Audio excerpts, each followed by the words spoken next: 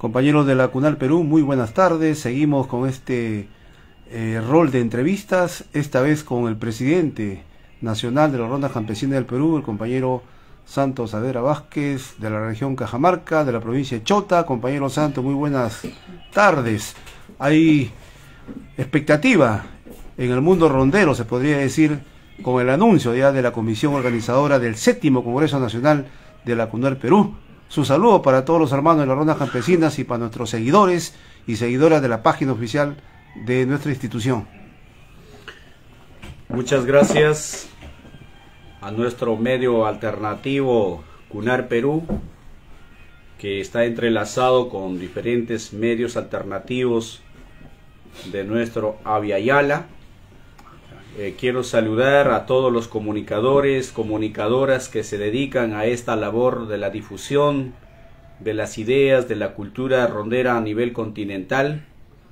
Saludo también las formas y resistencias de luchas que vienen haciendo en sus territorios frente a los estragos del gran calentamiento global o de la crisis climática que ahora se ha, se ha desatado terriblemente en grandes proporciones de destrucción de la naturaleza con los incendios, que no es más que ya los resultados de la crisis climática generado por el sistema capitalista. Saludar a, a todos los millones de hombres y mujeres de la clase trabajadora que hoy pues están en feria, día domingo, día de encuentro, de familias, de amigos, de compartir allá en las plazas, en los mercados, en el trabajo, en el transporte, en las plataformas eh, de canchitas deportivas que a esta hora se, se concentran eh, muchas de las personas, especialmente la juventud, los niños y toda la población, ¿no? Que siempre domingo, día de feria, y día, también de trabajo para las rondas porque los domingos son los que abren también donde hay ya digamos este locales, oficinas de la familia rondera en el territorio nacional que sirve para las reuniones de coordinación de las dirigencias, eh, reuniones de coordinación para resolver conflictos durante la semana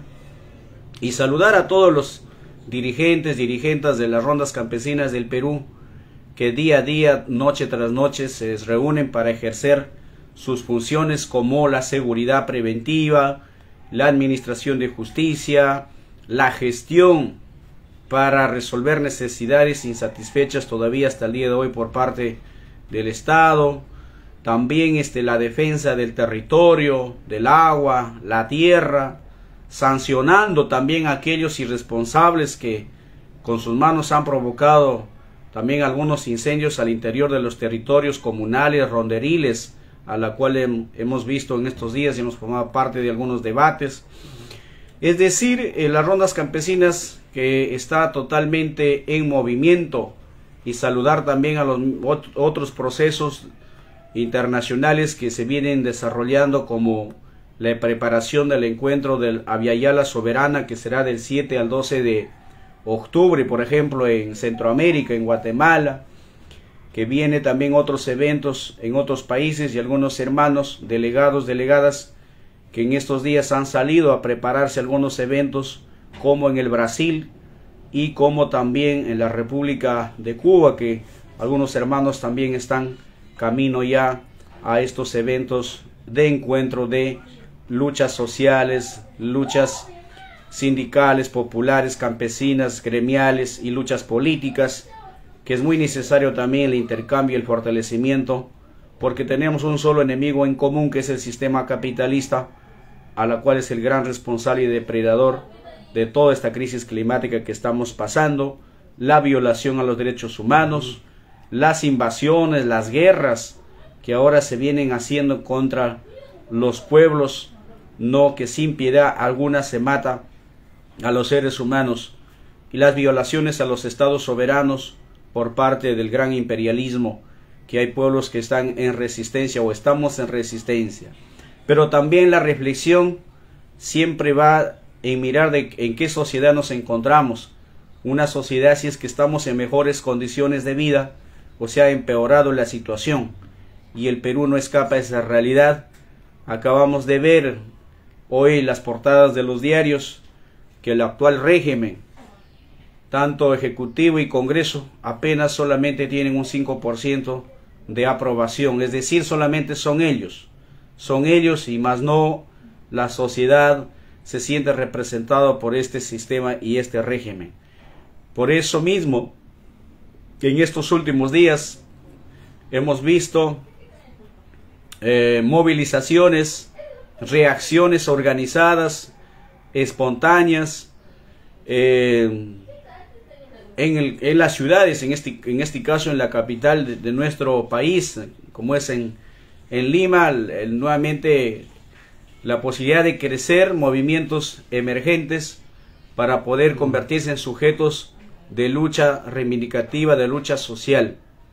Pero estas luchas que sale el pueblo es en rechazo al fracaso del sistema económico y político, en rechazo al sistema impuesto de cómo garantizar, por ejemplo, la seguridad ciudadana, que es una bomba de tiempo terriblemente que ha puesto en jaque y de cabeza al Estado peruano y que ha puesto en zozobra a 34 millones de peruanos. Ha hecho de que el sector transporte, por ejemplo, que ya en estos últimos años no lo veíamos luchar, pero ahora ellos son el blanco de la extorsión, el blanco del ataque, son el blanco de la venganza, del crimen que se desarrolla en las capitales de nuestras regiones y de nuestro país, ¿no? Y cuando hay una afectación directa recién, ellos salen a manifestarse y a luchar para defenderse de esto. Entonces, la impotencia, la indignación está de que los funcionarios caraduras, sin sangre en la cara, pues no tienen empatía y ni tienen siquiera un mínimo de autocrítica para compartir los lloros de aquellos hombres y mujeres que son atacados por la delincuencia, aquellas familias que quedan los bandad, las pérdidas materiales que acabamos de ver, no que como una venganza de la delincuencia pues hace de que directamente el afectado es el transeúnte, el afectado es la clase trabajadora. Y por eso creemos de que la importancia de la lucha, la importancia de la movilización, la importancia de la exigencia a quienes tienen la responsabilidad y tienen los medios materiales y logísticos, la inteligencia para poder acorralar a la delincuencia y garantizar una paz, una tranquilidad con derecho al trabajo, al desarrollo. Sin embargo, la plata de la plata que tiene el Estado no le invierte para perseguir a los delincuentes, sino le invierte para perseguir al oponente social o político que discrepa con este sistema. Y por eso veíamos en estos días cuántos millones más lo están inyectando al servicio de inteligencia. Pero no es para garantizar la paz de nuestro país, sino es para perseguir a los pueblos que denuncian, que rechazan a este sistema. La impunidad por doquier la impunidad. Aquí se viola derechos humanos, se asesina, nadie es sancionado, pero también esta mega corrupción ya no solo está en la política, sino también salpica a otros sectores, incluido la farándula, por ejemplo, ¿no? Que ahí estamos viendo cómo son sus testaferros, cómo se maquillan, son los, los hombres entrenados para hacer cortinas de humo bajo las pantallas de la televisión para que la gente se entretenga en eso y no se dé cuenta de lo que está pasando. Eso felizmente hoy con la tecnología también de las redes sociales de alguna manera abre la posibilidad de que podamos tener información y poder sacar otras conclusiones qué cosa está pasando. Por eso decirles al país de que las rondas campesinas al cumplir ya medio siglo ha logrado colectivizarse en los territorios rurales, últimamente en las zonas urbanas, para hacer un papel de autogobierno, de autoprotección, autogestión, autodesarrollo y autodefensa, es decir, la defensa colectiva frente a la amenaza del despojo del patrimonio, la amenaza de, de quitarle la vida por esta gente delincuente que existe. Pero mal haríamos solamente querer enfocar el problema de la conducta delictiva si no enfocamos las causas que originan este, este, este mal social y tiene sus responsables. Tenemos allí la crisis económica, la falta de trabajo, la falta de empleo, también la capacidad de la transparencia y la honestidad en el ejercicio de quien administra justicia en el Estado, la poca solidaridad que existe allí, pero también logramos entender de que no se persigue al delito callejero porque la gran mega corrupción y la mega delincuencia está en el propio Estado. Por eso, hoy en día, todos los días, todos los dominicales que vemos los escándalos que está plagado a los funcionarios del Estado, que de la justicia se hace una mercancía, a los grandes delincuentes, pues este, los malos funcionarios del Estado lo extorsionan, lo sacan dinero y, y dan sentencias a su favor. Y ahí hoy que van probando varias informaciones que vemos que algunos delincuentes hechos o infiltrados en la política que han sido favorecidos por personajes de la farándula como testaferros, como intermediarios y entre otros, ¿no? Es decir, la pregunta ¿quién podrá salvar? Siempre, si hay delincuencia en el Estado, hay delincuencia en la calle. Entonces la víctima es la mayoría de este pueblo peruano. Por eso, las rondas campesinas ha logrado pacificar en cierta parte los pueblos, a pesar que tiene que enfrentar dos enemigos. Un enemigo de delincuencia que también no duda en apretar el gatillo en contra de la ronda, de un rondero, de denunciarlo, y las autoridades que recepcionan la denuncia delincuente inmediatamente lo vuelven criminalización a la función jurisdiccional de la ronda campesina. Y también cuidarnos de la persecución y criminalización que hacen algunos malos administradores de la justicia, ¿no? Ordinaria. Frente de esas condiciones complejas, difíciles, las rondas campesinas ha sobrevivido durante todos estos tiempos, todos estos años, y viene cada vez ampliando su experiencia, ampliando su modo de organización, ampliando su compromiso solidario, con, con, empatía con el resto de la sociedad. Por eso debo anunciar de que el 4 de octubre tenemos el segundo encuentro macro regional norte de las rondas campesinas que va a desarrollarse en la ciudad de Jaén. En la secuencia del 5 de junio que tuvimos ese gran encuentro allá en Pucará que reunió a 5.000 ronderos en un estadio y cuya agenda fue pues identificar y atrapar a los abigeos y pacificar ese lugar que fue logrado, ¿no? Gracias al trabajo colectivo unificado de las rondas del norte del Perú. Hoy tenemos también ese, esa continuidad de compromiso de seguir luchando por la pacificación de nuestros pueblos. Como quiera que la delincuencia se ha corrido de la zona rural a la zona urbana, entonces el accionar tiene que ser donde está la delincuencia.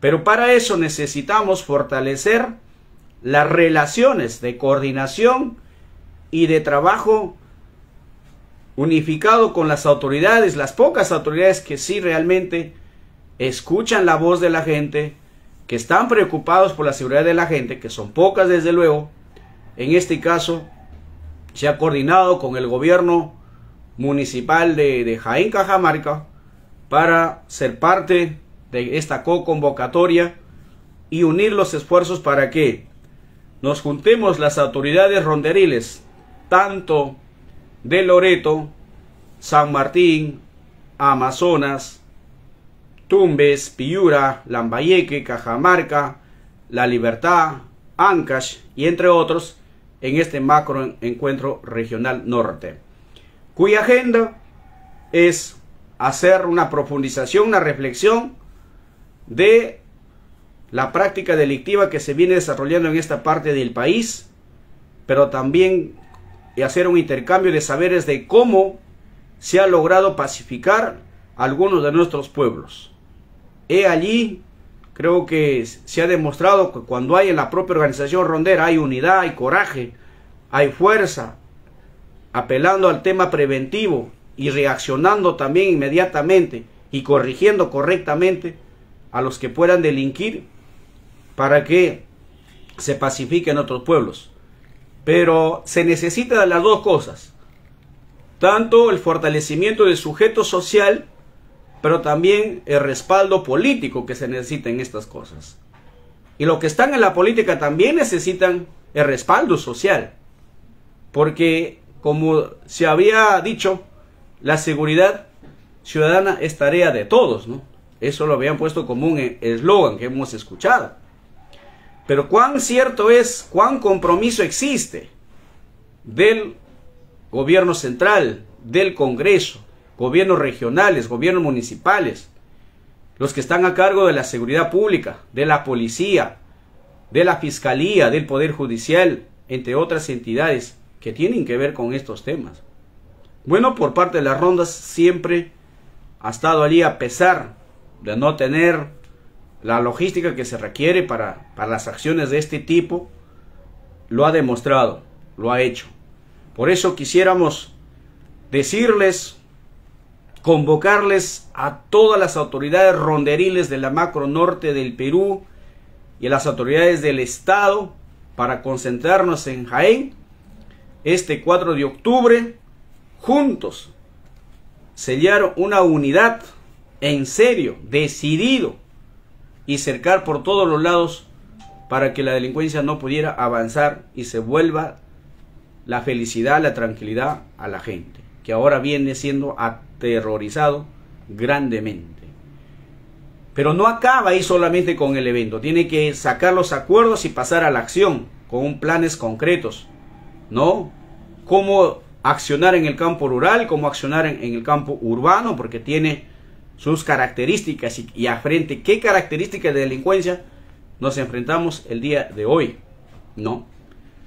Entonces, esos son uno de los, los objetivos central, la seguridad. Y para eso tenemos que unir fuerzas. Nuestra invocación es al resto del país, a los sectores rurales, a los sectores urbanos. Así como estos días salieron a las calles, salieron a protestar, a pedir bajo lloros varios trabajadores del transporte, pues que ellos de alguna manera se han organizado, están dando una muestra ya de organización también urbana. Pero eso no se tiene que agotar ahí. Hay que organizarse por cada barrio, por cada cuadra, por cada asentamiento humano, ¿no? Por todos lados. Hay que, hay que organizarse, hay que colectivizarse. Porque una minoría del 5% de delincuencia que hay en el Perú, que aparece, ahí están los periódicos el día de hoy, no va, no va a dominar a un 95% de la población peruana. Ni modo. Entonces mi reflexión es organicemos rondas campesinas, rondas urbanas, como, como se llame.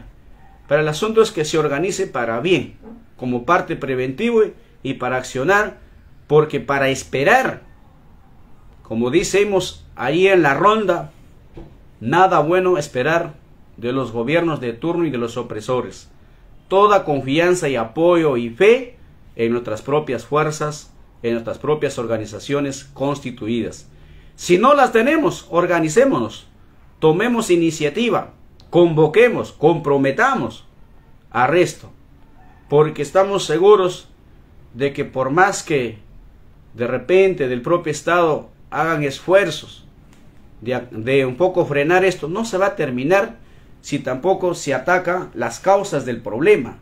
Se necesita políticas públicas en este sentido y que sean temas transversales para dar también las, las condiciones mejores de vida, pero también a la vez el ejemplo, ¿no? O sea, ¿Cómo se podría exigir que se desaparezca la, delincuencia callejera si en el propio Estado la delincuencia se ha robustecido? O sea, e, eso también tenemos que reflexionarlo. Bueno, esto es un primer anuncio en cuanto al encuentro macro de Rondas Campesinas de Jaén el 4 de octubre, a la cual sin miedo, sin temor, hay que asistir, ir a dar y exponer nuestras ideas, qué es lo que pensamos y llevar propuestas, llevar propuestas, cómo mejorar este tema de la parte preventiva y las sanciones y reeducación a los que infringen las buenas costumbres de vuestros pueblos. Punto 2. Punto 2. En estos días estamos sintiendo a nivel global el impacto de la crisis climática. La crisis climática que se ha expresado en una elevación fuerte de las temperaturas, mayormente en la Amazonía, de muchos países de nuestro continente, que a eso se ha sumado estos grandes mega incendios que ha acabado con la flora y la fauna. Se ha incendiado reservas naturales, se ha incendiado zonas de bosque nativo, zonas de bosque que ha sido ya árboles plantados por el hombre, pero que ha venido el fuego y ha arrasado con todo. Más allá de, de esta tremendo perjuicio y responsabilidad de, las, de los seres humanos que tenemos una crisis climática, donde hay excesivamente calor, excesivamente lluvia, excesivamente sequías que se amplían. Creo que a más de uno ha dejado preocupado que se hayan secado como el río Amazonas que ha bajado su mm. caudal de agua. Eso provocando totalmente la paralización del transporte fluvial. O sea, no es cosa poca. Tenemos que reflexionarlo qué hacer, cómo evitarlo. Pero para eso, nuevamente llegamos al tema político, económico. A nivel mundial se hacen tratados para disminuir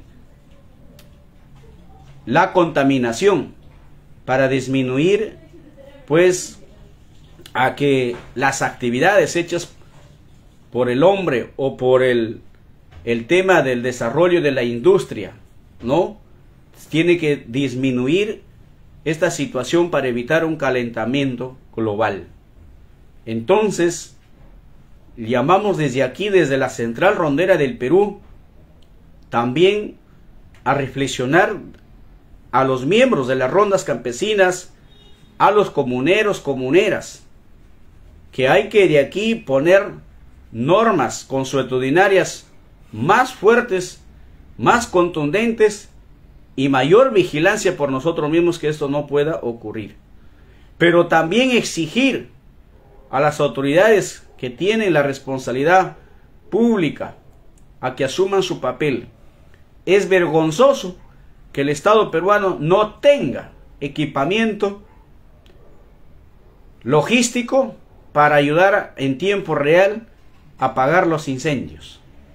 ¿Cuánto estamos otra vez más desorganizados, ya fue con la pandemia, con el COVID-19, que puso a la luz, a la vista, cómo estaba la precariedad del sistema de la salud. Hoy con la crisis ambiental, igual manera. Y encima, la poca empatía, el poco compromiso o la burla que han hecho las autoridades del Estado peruano, que no han actuado a tiempo han ido finalmente solamente para la foto. Solo para la foto y diciendo que no hay necesidad de declarar